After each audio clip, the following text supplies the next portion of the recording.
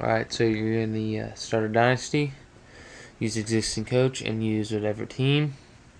Once you begin it, just advance it to the conference championship week, and after you advance it to conference championship week, advance it to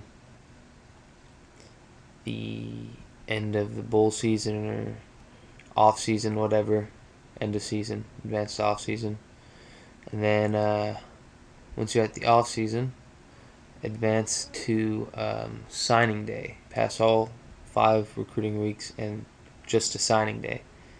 Now, once you get to signing day, go to coach, coach actually, excuse me, first go to top classes and see who has the top class. In my case, it's Auburn. Yours will probably be different. So, what I'm going to do now, since mine is Auburn, I'm going to go to Coach Central, Coach Info, and I'm going to create a new coach by clicking RB. And now right here, it takes me a while because I'm just screwing around, but all you have to do is press continue, and then it's going to bring up the team screen menu, and I'm going to choose Auburn since that's number one in my dynasty. Yours will probably be different, so you're going to have to choose that team. Now, make sure you also assign them as the head coach. Now, after you do that, you're going to need to find the coach that you were originally using.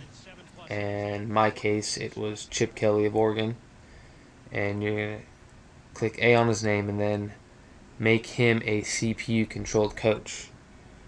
Once you do this, go back to the menu and uh, just advance it to the next stage of the off season. And right when you do that, um, you will get the achievement. So please uh, like, comment, subscribe, and watch my other videos. Bye.